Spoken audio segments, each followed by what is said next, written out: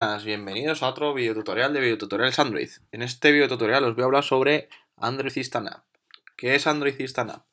Bueno, pues básicamente eh, Android Instant App se ha presentado en la Google I.O. de este año, del, 2016, hace bien poquito. Y lo que quiere decir Google con Android Instant App es que se va a poder ejecutar aplicaciones nativas de Android de forma modularizada. ¿Qué ocurre con esto? Eh, bueno, pues eh, la verdad es que eh, Google dio mucha publicidad a esto y se ha generado muchísimo revuelo. Y el problema que había hasta ahora es que hay muy, muy poca documentación. Se ha hablado por encima de ello, hay muy poquísima documentación y hoy acaban de lanzar un, un primer vídeo hablando sobre esto. La sensación que a mí me da es que no, no va enfocado a lo que nosotros en un principio pensábamos. Eh, yo personalmente lo que pensaba que iba, a hacer, que iba a hacer Google es que tú ibas a poder modularizar tu app y se iba a poder correr toda tu app en, módulos, se iba a poder correr de forma desatendida o de forma sin, sin tener que descargarse solamente módulo a módulo toda tu app. Parece ser que está más enfocada a hacer mm, X operaciones, como por ejemplo pagar, registrarte, ver un producto, eh, haciendo una experiencia nativa. Es decir, buscas algo en Google, eh, por ejemplo, comprar una camiseta y tu aplicación existe esa camiseta o la aplicación de AliExpress o la que sea, por no dar publicidad a nadie, pero haces una... Eh, buscas esa camiseta y si la aplicación nativa está modularizada, se lanzará la aplicación nativa y en ese momento podrás comprar o con Android Pay o podrás comprar con, la forma de pago que tenga AliExpress la camiseta. Eh, al igual que y de una forma nativa, ¿vale? Con una experiencia nativa, una aplicación nativa. Lo cual pinta bastante bien, pero, lo pero hay muy poca documentación. Y la documentación que hay parece que va hacia ese, hacia ese entorno, ¿vale? Si queremos hacer algo más, pues ya nos, saldrá el botón de, install arriba y, nos instalaremos la app, ¿vale? ¿Qué ocurre? Que en el, blog de Developer Android, eh, pues han, colgado algunas cosas, como por ejemplo, eh, arranca tu app sin instalar, eh, accede a tu app desde cualquier sitio sin tener que instalarla.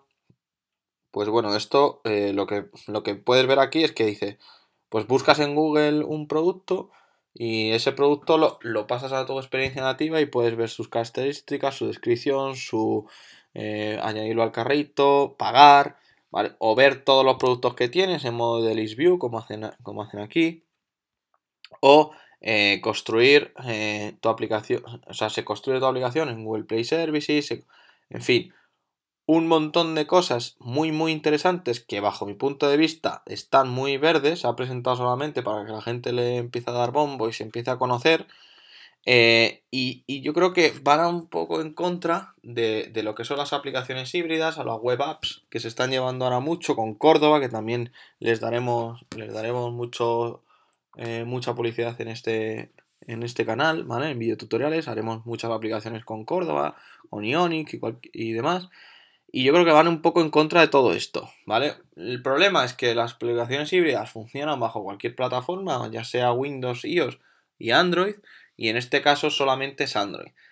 Eh, en próximos videotutoriales os voy a enseñar eh, cosas que van en contra de Android Instant App, ¿vale? Porque Android Instant App está muy bien, pero eh, Google también está pensando otras cosas que se parece que se está pisando un poco con todo, con todo esto. Entonces, hay distintas iniciativas que parece que todas van a un, punto común, que es que las aplicaciones se ejecuten de forma eh, multiplataforma, ¿vale? Desarrolladas en, una única plataforma, sea híbrida, sea en Android Instant App, sea aplicaciones que se ejecutan en Chrome y demás.